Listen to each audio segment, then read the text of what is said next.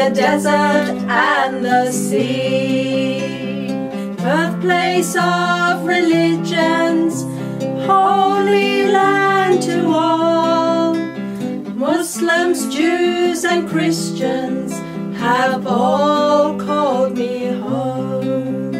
In 1947, when the Jewish people had no home, the world said, give them part of Palestine, they can share the Holy Land. So my people were exiled to make way for the exiles. My villages were razed and cleared to make new homes.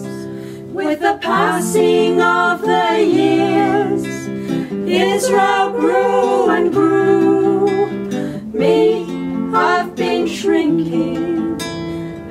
I'm shrinking still.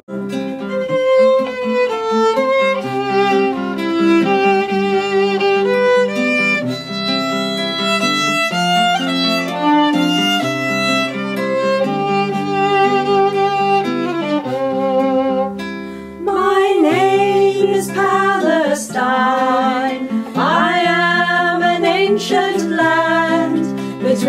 Desert and the sea.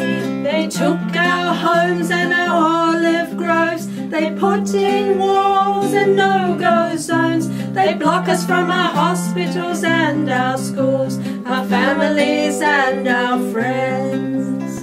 As the world watches silently, my people become refugees, living a life of tyranny, hopelessness and fear. We're the same,